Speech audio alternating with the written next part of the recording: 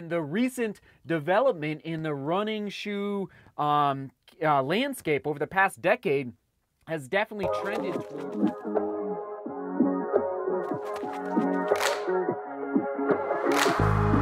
Onward and upward. We gave it our best shot, everybody. Cheers. Good morning, by the way. How we doing out there? Yeah, welcome back to the studio. Crazy, everyone. The On Cloudstratus. I don't know what to tell you. Here it is, bright orange. I actually kind of like the bright orange. Shout out to the Denver Broncos. But Swiss Engineering, all right, this company on ON, for those who have never, it's kind of a newer, you know, new-ish company to the running shoe scene. As far, you know, they're definitely not, um, I would say they're not as popular. Actually, if you live in Europe, how popular is On? Let us know in the comments. That's not the question of the day. I'd be curious because here in the States, Total side story. Dathan Ritzenhein, all right, uh, Olympian, ran for CU, go Buffs. He is now coaching a professional team just up the road in Boulder, Colorado. And they are sponsored by On.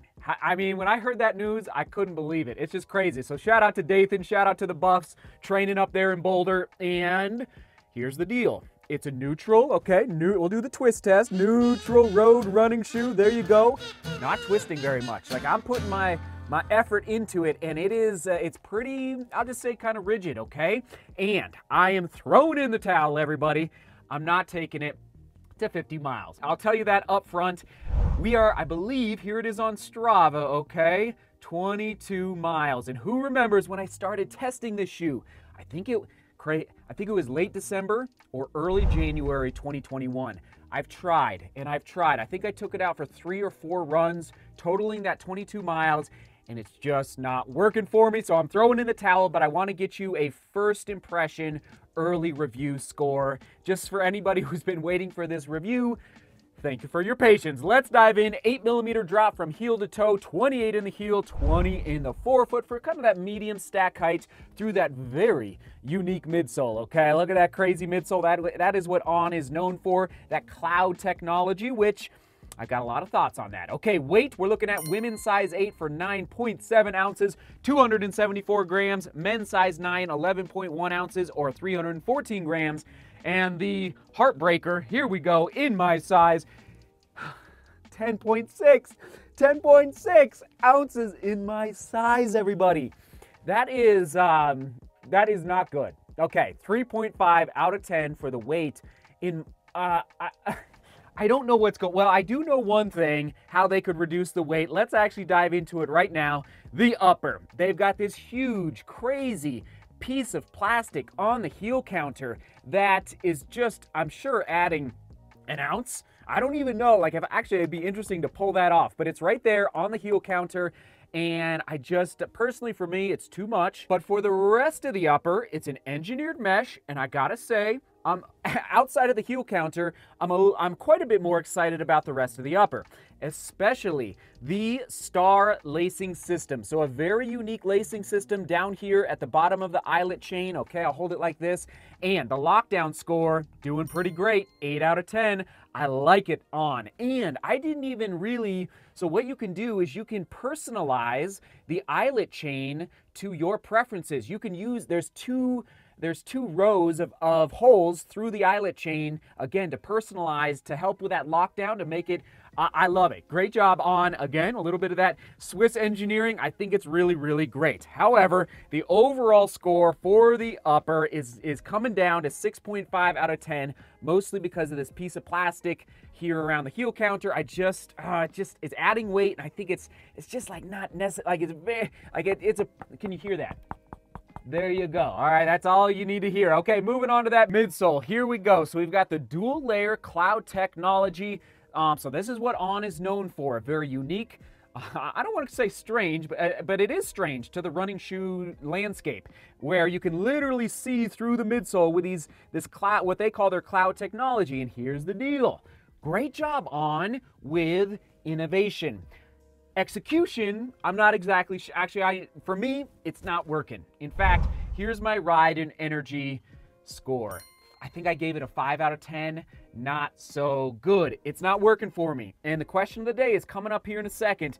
On fans help un, help me understand the reaction that your gait cycle and your biomechanics are making to this cloud technology. For me, it's firm and it's not responsive.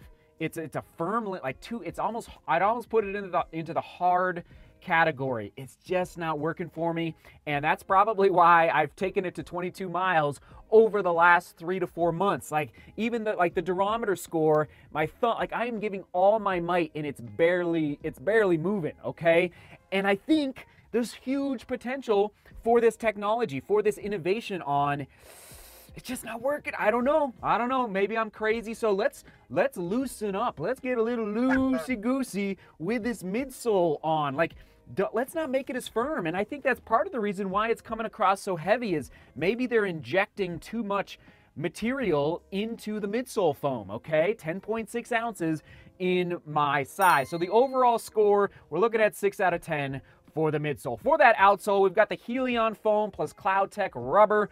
Uh-uh, again, hard and firm, like really hard and firm. Um, very hard. So not working for, and um, uh, gosh, I mean this.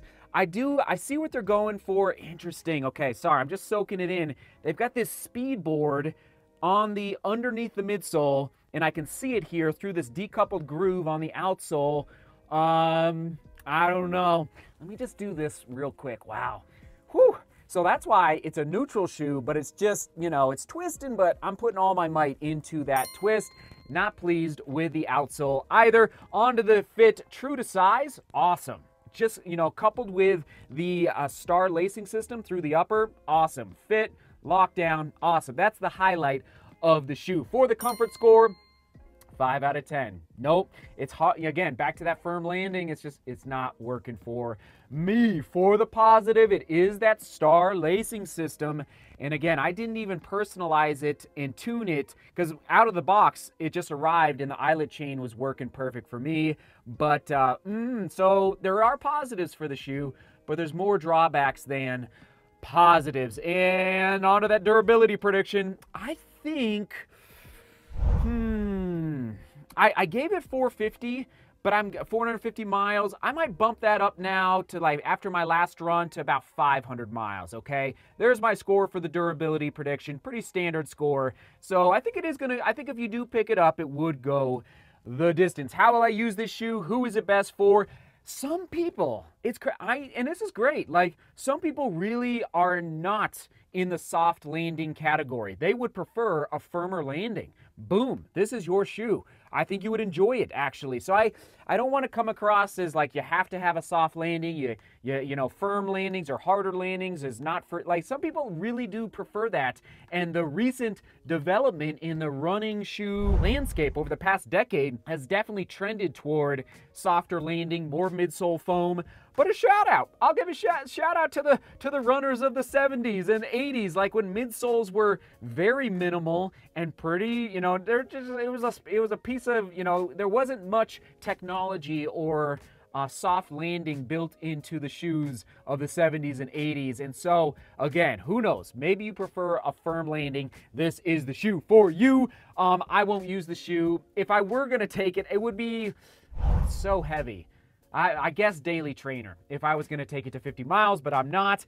Price point, mm, $169. Like, oh, come on. No, 5 out of 10, I think I gave it for the price point. I probably should have gone even lower, but we'll keep it at 5 out of 10. 100 and, no, no, I don't care how much uh, engineering is going into the shoe. It's not, uh, no, it's not worth 169 I'm oh man I'm gonna hear it down in the comments and I'm okay with it I'm just telling we uh we uh call it as it is here in the studio like I test a lot of shoes and most shoes I'm happy with I'm not happy with this shoe. Um, other shoes to buy, I'm not even sure what I'll put on the screen. I might put a big fat goose egg, okay? Meaning no shoes, all right? It's like, I just, I don't even know what other, like, what other shoes to compare it to you know, considering the, the weight class that it is falling into. Okay, shoe quick specs one more time. Soak it in on your screen. There it is. All right. And that 22 mile full review score coming in with a uh, oh, 5.8 out of 10. Have we ever had a score under six in the studio? I actually don't even, this might be the lowest score.